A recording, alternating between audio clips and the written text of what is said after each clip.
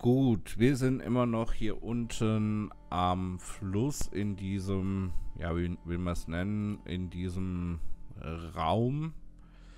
Ähm, wir haben das Zimmer komplett durchsucht. Ich wüsste momentan nicht, wie wir hier das Ding aufkriegen. Äh, das Ding wird da nicht, oder? Nee. Ne, wir haben ja alles schon probiert. Der Schlüssel war für das Zimmer. Ja, wir gucken uns jetzt die Nachricht hier an. Wir müssen das jetzt übersetzen. Wir wissen nicht, welcher Buchstabe zu welchem Symbol gehört.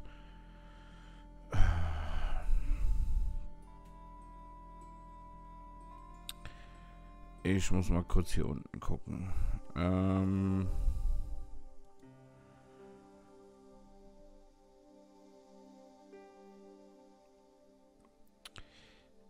Der Typ hieß Pierre Carchon. P-I-E-R-R-E. Also das könnte, ich weiß es nicht. Wir müssen das mal gucken. So, einmal das hier und dieses Symbol ist hier. Okay, das hier wäre dann das I. Weil hier auch ein Komma steht, deswegen. Ähm, das ist das hier, glaube ich.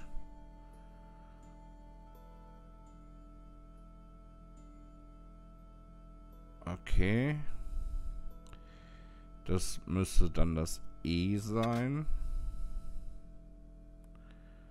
Wo ist das Ding? Hier. Und das müsste dann das R sein. So. Pierre. Bla bla bla. Das könnte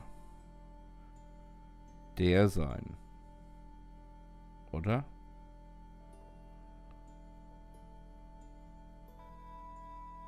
Mal gucken. D. Das hier. Wo ist das? Der. Ja. Ähm. In oder im?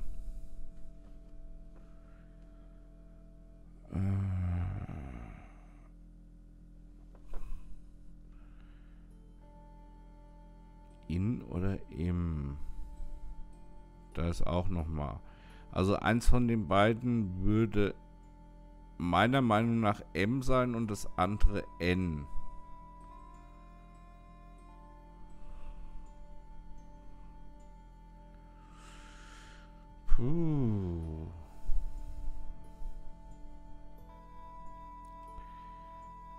Was könnte das sein?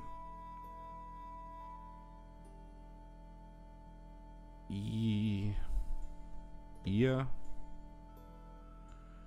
Wir gucken erstmal hier. So, da, da, da.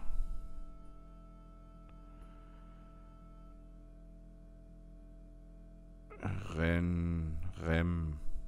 Ich würde sagen, N ist das. Das hier.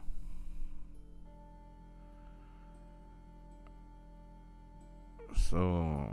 In. Und dann ist das ein M.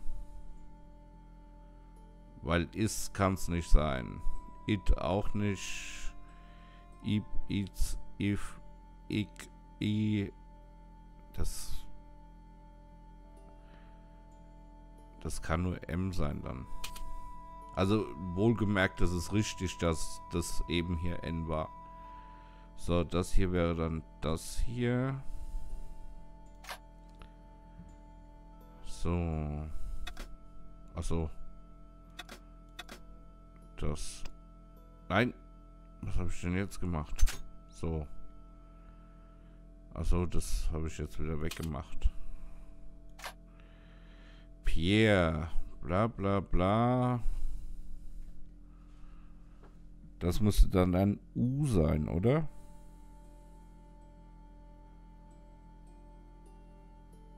Nur.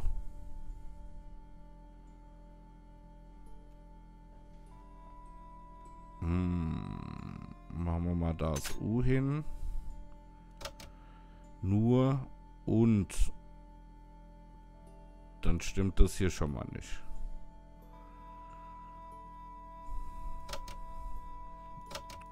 Also wäre das hier das D. Weil, oder uns.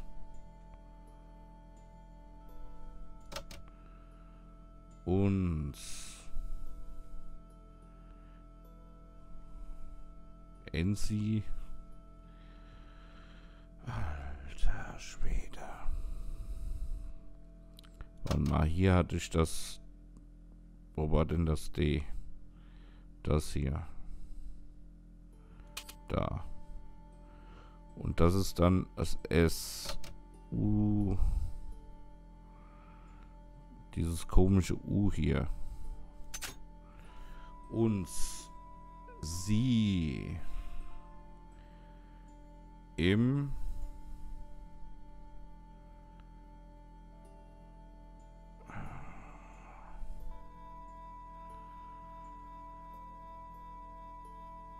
Was ist das?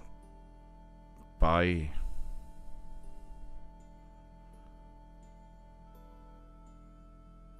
Eurem? Nee.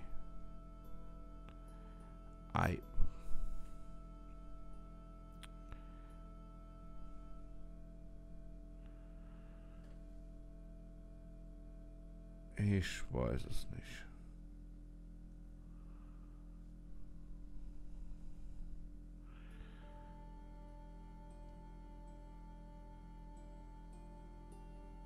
das könnte dann ein B sein. Beim.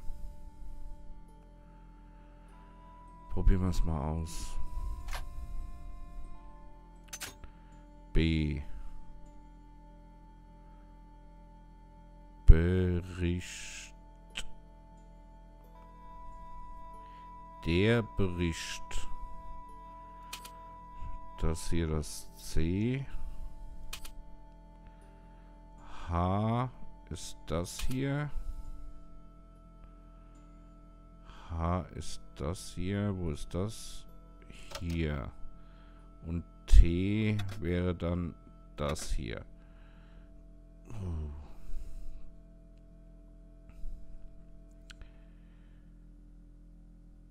So. Pierre.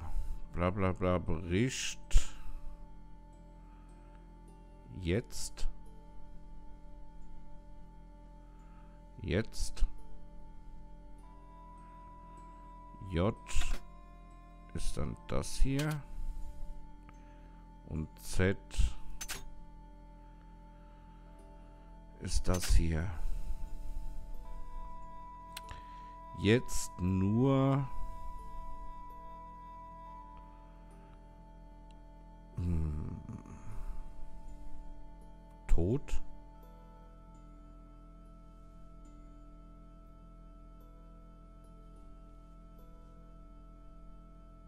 Tod vielleicht.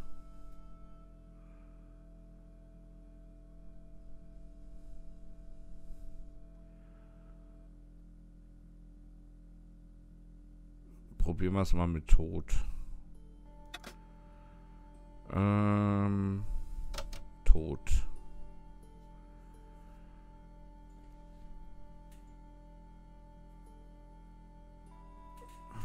Aber ich glaube, das mit dem S stimmt nicht. Bericht. Äh, jetzt nur...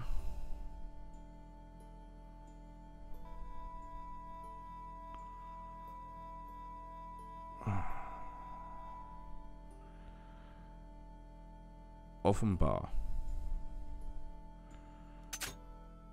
F. Offenbar.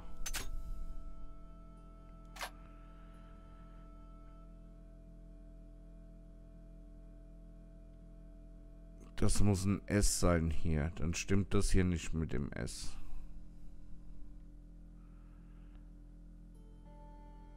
Machen wir mal das S weg. Machen das hier mal zum S. Ist Pierre der Bericht später jetzt nur äh, Arno und und wo haben wir das D denn?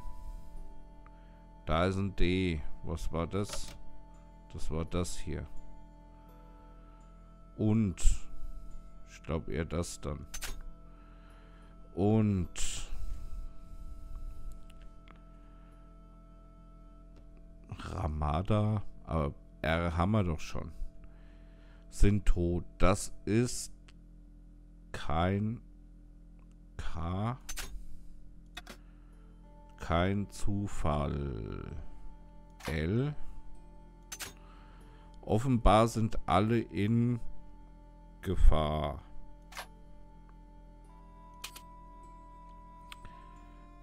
Das ist ein V. Vollständiger. Müsste das dann sein.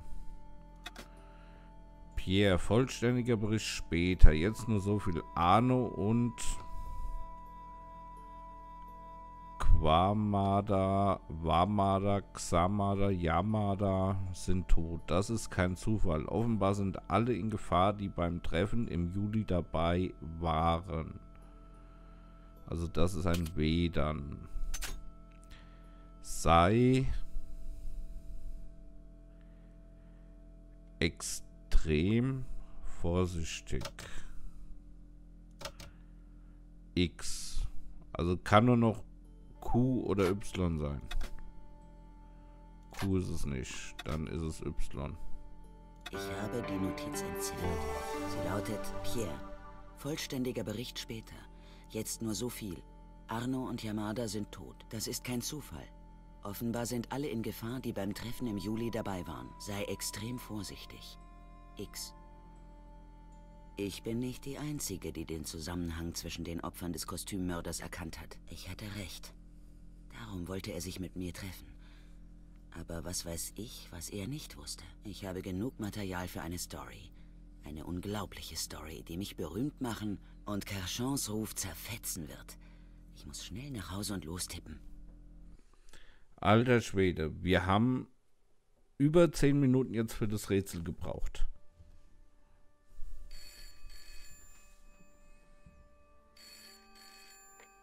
Bonsoir, Collard? Nico? Ich bin's, Ronny. Hallo, Ronny. Na, schon den Champagner geköpft? Spinnst du? Was ist denn los? Wart mal. Du hast es nicht gedruckt? Natürlich habe ich's nicht ins Blatt genommen. Das ist das Beste, was ich jemals geschrieben habe. Das Letzte, soweit es mich angeht. Es ist wichtig. Es ist Selbstmord. Du kannst nicht einfach einen Nationalhelden demontieren. Aber er hat's verdient. Seine Leiche ist nicht mal unter der Erde. Ronny, vor zwei Stunden habe ich dir erzählt, was ich rausgefunden habe, und du warst ganz heiß drauf. Du hast mich angefleht, die Story sofort zu schreiben. Zwei Stunden sind eine Ewigkeit im Zeitungsgeschäft, Nico. Jemand hat dich unter Druck gesetzt, stimmt's? Hör zu, Nicole. Hör gut zu. Pierre Cachon hatte eine Menge Freunde. Sehr mächtige Freunde. Tu dir selbst einen Gefallen. Ich soll vergessen, was passiert ist? Ich sehe, wir verstehen uns. Ende der Diskussion. Gute Nacht. Das hätte mein großer Durchbruch werden sollen. Aber ich weiß genau, ich kann die Story niemandem sonst verkaufen. Wenn Ronny sie nicht drucken will, dann die anderen erst recht nicht.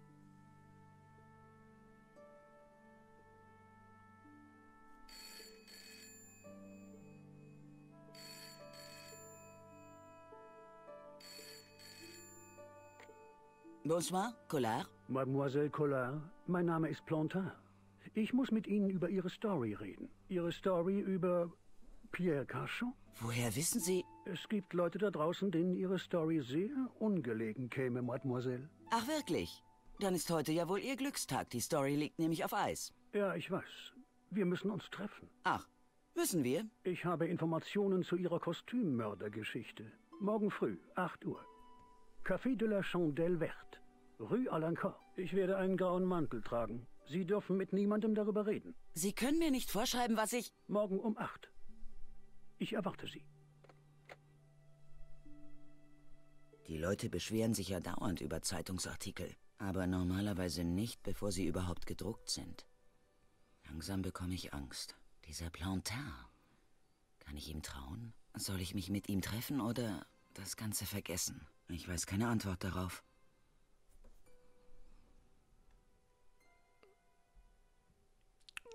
So, das war, glaube ich, der erste Teil der Geschichte. Ich bin erst eine Woche in Paris. Aber ich habe mich schon in die Stadt verliebt. Meine neueste Entdeckung ist ein kleines Café, La Chandelle Verte. Ich bin sicher, die Kellnerin hat ein Auge auf mich geworfen. Der gute alte Stobbart-Charme, schätze ich. Ich habe ja keine Ahnung, wie brutal ich gleich aus meinen Träumen gerissen werden sollte.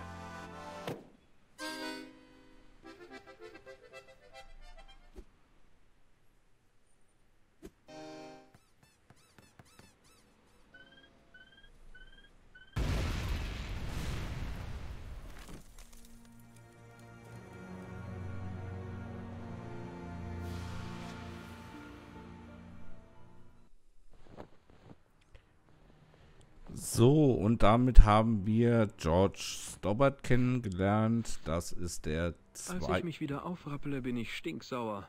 Den einen Moment ist man noch im Urlaub, im nächsten jagt einen so ein Clown in die Luft. Ich weiß natürlich sofort, was ich tun muss. Ich werde diesen Clown finden und seiner gerechten Strafe zuführen, weil Gerechtigkeit wichtig war. Gerechtigkeit ist sowas Erhabenes, wie Freiheit und Gleichheit und äh, Brüderlichkeit. Deswegen habe ich doch schließlich Jura studiert, oder? Naja, und wegen der enormen Honorare natürlich. So, also wie ich schon gesagt habe, wir haben jetzt schon George Stobbart kennengelernt. Das ist er hier. Genau der da. Und er ist der zweite Hauptprotagonist neben Nico Collard. Und ich würde sagen, für heute war's das. Und wir machen dann morgen, nee, übermorgen. Ah, ich vergesse das immer wieder. Morgen kommt auch WoW raus. Äh, wir machen dann in der nächsten Folge weiter.